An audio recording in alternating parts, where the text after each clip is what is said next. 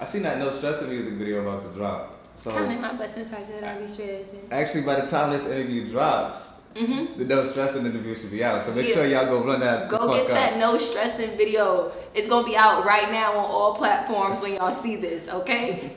Go get that. Alright, and you started off as a model? Yeah, so um, originally when I first moved to New York, I was doing a lot of modeling and acting like hand to hand. So Not it's an like Instagram model, an No, like- published model. Yeah, you know, Yeah. I, I I've been fortunate to have a really good modeling career from runway modeling, like Mm. modeling with people like Project Runway. If you ever seen that show, I've got to walk for like the uh, winning designers and at Cipriani for New York Fashion Week with big designers like Shea Kawai. I modeled for like Black Pyramid. You know, people know me for like Chris Right. Brown posted me Mhm. years ago, Mhm. and then like Old Navy and you know a lot of other big brands.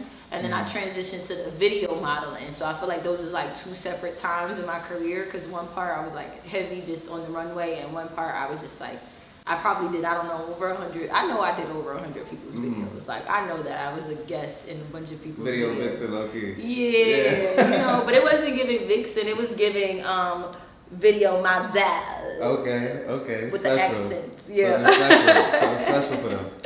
yeah. Mm, um, do you think the image is more important than the music in the industry today? That's a good question. I don't want to be biased. Keep it above. But actually, you know what? With the the given facts of a lot, it depends on what you say image is. You mean like do they have to be pretty or is it just the brand, like the image, like how people know you? Cuz I feel like actually today compared to like 20 years ago, uh, we actually letting a lot of less pretty people in, if I must say. I don't know.